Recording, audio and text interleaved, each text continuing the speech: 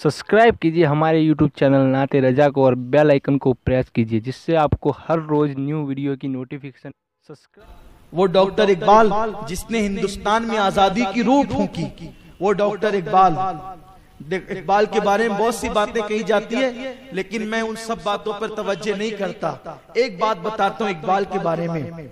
जो किताबों में लिखी हुई है, लिखने वाले ने कहाँ तक लिखा ये वो जाने। बयान करने वाले ने कहाँ तक बयान किया वो जाने, लेकिन गौर से सुने, जो कहना चाहता हूँ। डॉक्टर इकबाल के बारे में एक रिवायत आई है। डॉक्टर इकबाल के खादिम थे।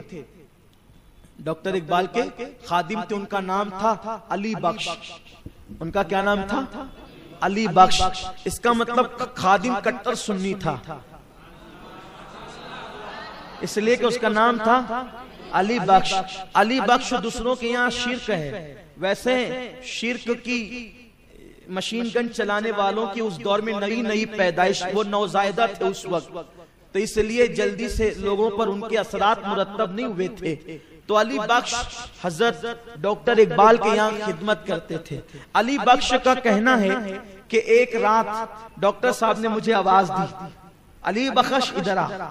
मैं सो रहा था तो चूँकि बड़ी अकीदत थी डॉक्टर साहब से अली बख्श को।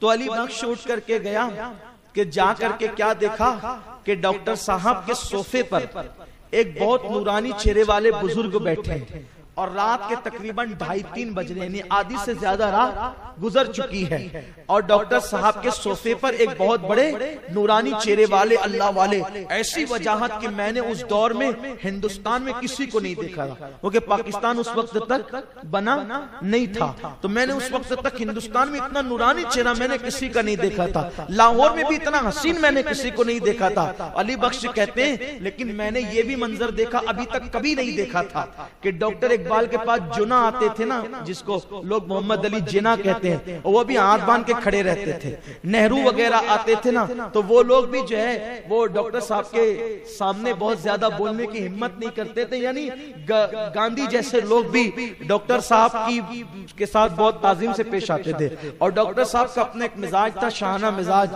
और किसी को खातिर में नहीं लाते थे, हर एक को खातिर में नहीं लाते थे। अखलाक अपनी जगह है, लेकिन हर एक को घास डालना डॉक्टर साहब का काम नहीं था। लेकिन मैंने ये मंजर अपनी आँख से देखा, अली बख्श कहते हैं कि डॉक्टर साहब के सोफे पर बुज़ुर्ग बैठे और डॉक्टर साहब उनके पैर दबा रहे हैं।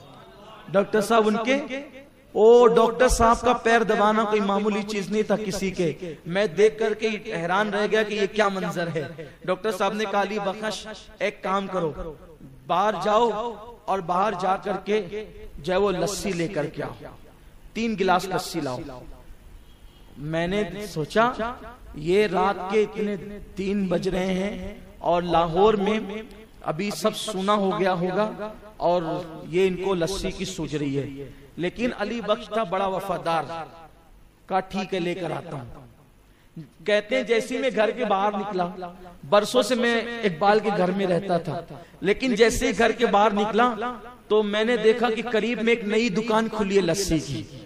ऐसा लगता था जैसे आज ही रात खुली है लस्सी की दुकान। और लस्सी की दुकान पर बहुत नूरानी चेहरे वाले बुज़ुर्ग जैसा चेहरा वहाँ था ऐसे ही कमोबेश यहाँ भी था और वो लस्सी बना रहे थे।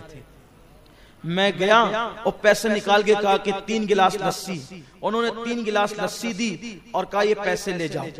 इससे पहले कि मैं बताता मैं कौन हूँ और मैं कहाँ से आया हूँ उन्होंने खुद कहा इकबाल के साथ हमारा हिसाब किताब चलता रहता है। तुम ये पैसे ले जाओ हम हिसाब कर लेंगे।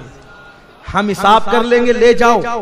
इकबाल के साथ हमारा हिसाब चलता रहता है। कहते हैं कि मैं लस्सी ले आया। ले आने के बाद ला करके जैसे रखा तो मुझसे डॉक्टर साहब ने कहा जाओ मैंने लेकिन मैं देख रहा था। और डॉक्टर साहब ने एक गिलास बुज़ुर्ग को पेश किया उन्होंने पी ली लस्सी। उसके बाद दूसरा गिलास पेश किया तो भी पी ली और तीसरा गिलास पेश किया तो कहा कि तुम पी लो। डॉक्टर साहब ने पी लिया। उसके बाद वो बुज़ुर्ग ने कहा अच्छा मैं चलता हूँ। वो बुज़ुर्ग जब जाने लगे तो फिर मुझे अली बख्श कह करके डॉक्टर साहब ने आवाज़ दी अली बख्श इधर आओ। और बुज़ुर्ग को बाहर तक पहुँचा दो। तो मैं बुज़ुर्ग के पीछे पीछे हो लिया। जैसे बुज़ुर्ग ने बाहर कदम रखा एक रोशनी चमकी मेरी आँखें चौंधी आ गई और वो बुज़ुर्ग गायब हो गए मैं आया और आने के बाद मैंने डॉक्टर साहब को कहा क्योंकि अब मैं घूम घाम के बाहर आया था वो जो नई दुकान खुली थी वो कोई दुकान उकान नहीं थी। मैं आया मैंने कहा डॉक्टर साहब सही बताना क्या मामला है? वो दुकान भी लगी थी अभी वो दुकान भी नहीं है। और ये जो बुज़ुर्ग आया था ये कौन है? आप पैर दबा रहे थे क्या मामला है? तो डॉक्टर साहब ने कहा अली बख्श रहने दो मत पूछो। अली बख्श जिद पर आ गए नहीं आपको बताना ही पड़ेगा आपको बतानी पड़ेगा। तो डॉक्टर साहब ने कहा इस शर्त पे बताऊँगा कि जब तक मैं ज़िंदा रहूँ ये वाक्य तुम किसी को नहीं बताओगे तो बताता हूँ। का वादा करता हूँ जब तक आप ज़िंदा रहेंगे किसी को नहीं बताऊँगा। तो डॉक्टर साहब ने बताया जिस बुज़ुर्ग के मैं पैर दबा रहा था वो सरकारी गरीब नवाज़ थे। वो हजूर गरीब नवाज़ रदी अल्लाह तालन थे और जो तुझे लस्सी की दुकान पे मिले थे, चूँकि गरीब नवाज़ आज लाहौर आए हुए थे तो उनकी मेहमानी के लिए दाता अली जुवरी ने लस्सी की दुकान लगाई। ये गरीब नवाज़ का मकाम, लेकिन इसमें डॉक्टर इकबाल की अजमत समझ में आती है। उस डॉक्टर इकबाल से किसी ने पूछा, डॉक्टर साहब, अल्लाह ने आपकी शायरी में इतनी तासीर कैसे अदा की? अता फरमाई तो डॉक्टर साहब कहते हैं कि जब शहद की मक्खियाँ दुरूद पड़ती है तो कसेला रस भी मीठा हो जाता है। तो मैंने शायरी शुरू करने से पहले एक करोड़ मरतबा अपने नबी पे दुरूद सलाम पढ़ा है। उस दुरूद की बरकत है कि अल्लाह ने मेरी शायरी के अंदर ये रंग पैदा कर दिया है। अगर हम भी चाहते हैं कि हमारे अंदर भी कोई रंग पैदा हो तो हम भी दुरूद शरीफ की आदत डालें और दुरूद शरीफ कसरत से पढ़ने की कोशिश करें। अल्लाह ताला मुझे आप सबको दुरूद शरीफ कसरत से पढ़ने की तौफीक अता फरमाए।